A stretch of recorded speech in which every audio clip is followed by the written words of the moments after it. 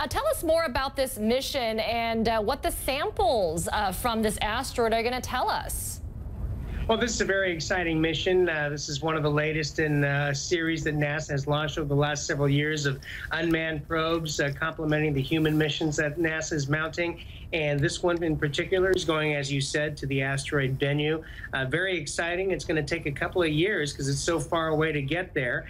And then once it's there, it's going to use its suite of sensors and, uh, and cameras to take images and other data and then sometime around 2020, it's going to actually extend about an 11 uh, meter, 11 foot arm out to try to scoop a piece of the dust off of the asteroid and actually bring it back to Earth. So, sometime around 2023, we'll see the samples return under parachute in, in a return capsule, and it'll give us some idea of what the uh, early universe was like. Hopefully, we'll be able to get some good samples, get some good chemical composition analysis, and and other data from these uh, this, spacecraft. Yeah, because asteroids uh, can tell quite a tale, and, and, maybe we'll get to that in a minute. I, I, wanted to ask you first, first about the logistics here. Now, you, you, you send a, a, a rocket off to the moon or something, that's fine, or Mars, that's fine. It's there. This thing is racing through the atmosphere and they spin as well. How do you get up to it, get close to it, make this happen, you know? Right. This is not an not an easy problem. I mean, getting two pieces to meet in space, hmm. uh, spacecraft, or to rendezvous and and uh, fly in formation with an asteroid or a comet, uh, that's a pretty incredible feat, especially so far away. Fortunately, we have pretty good sensors and we know the trajectories, you know, to a pretty good degree. And so we've been able to have some pretty good successes. And I would look back at, at the Rosetta mission to the Comet 67P and actually landing the, the Philae lander on that comet, which was about 30 light minutes away. Uh, so it shows you what we're able to do these days. And it's pretty darned impressive. It really uh, is. It's, it's, all in the logistics and all in the planning and, and just incredible. It, yes. And, yeah. I just wrapping my head around the fact that you have two it's moving objects. Yeah, it's just yeah beyond me. I would never become a rocket scientist. That would imperil a lot of people. Um, but let's talk a little bit about uh, the asteroid itself. I mean, does it pose a threat to Earth, and how big is it, and and what do we know about it? Well, it's a pretty good sized asteroid. I mean, it's not the biggest one we've ever tracked, but uh, the, the thing is, does it pose a, a, danger to Earth? It poses a potential danger to Earth.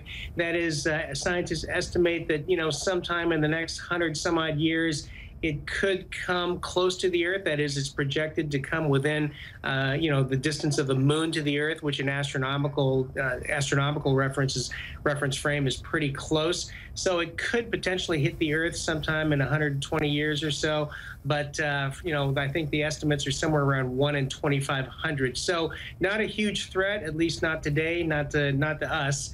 Mm. But uh, one day it, it could pose a threat. I think at the moment it's about 200,000 miles when it passes through, so it's not a close call yet. Uh, when it comes to these things, though, what do we learn from them? When they get these samples back, what are they hoping they're going to get a snapshot of? Well, they're hoping to get a snapshot of what the uh, what the universe was like uh, a long time ago. You know, it's not close to the formation time of the universe. These these asteroids and, and comets, uh, a lot of them have been around for a long time, and hopefully they've been pretty much pristine and undisturbed. And so, getting a sample back will get us some information about the chemical composition of what the early universe was like. As an example, I talked about Rosetta and Philae. Uh, one of the interesting things that come out of that mission was the fact that they looked at the, uh, the, the concentration of different isotopes of water on the comet. One of the theories of water on the Earth is that it was it was create or it was accumulated by impacts of comets on the Earth. But the isotopes that we found from uh, from from the Rosetta mission, from the Philae mission, is that uh, the composition was not correct. So that kind of threw a little bit on its head that theory that the water of the Earth came from comets, is looking like maybe it didn't. I have to ask you this as well because I'm a big fan of the movie Armageddon, and I'm just curious, you know, if there were an asteroid barreling towards the Earth in the next year or so, I mean, is there technology that's being worked on where, you know, we humans can yes, blow up Bruce an asteroid? Willis.